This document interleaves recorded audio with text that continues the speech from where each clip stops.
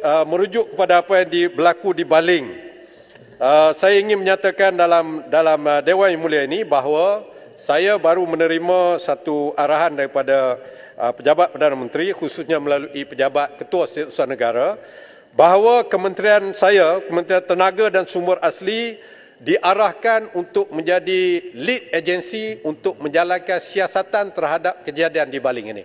Kerana uh, munasabahnya kerana di bawah KEXA ini ada banyak jabatan yang berkaitan. Jabatan Perhutanan Semenanjung Malaysia, Jabatan Mineral Geoscience, Jabatan uh, Ukur dan Pemetaan Jupom, Jabatan Perhilitan dan pelbagai jabatan-jabatan lain yang berada di sini.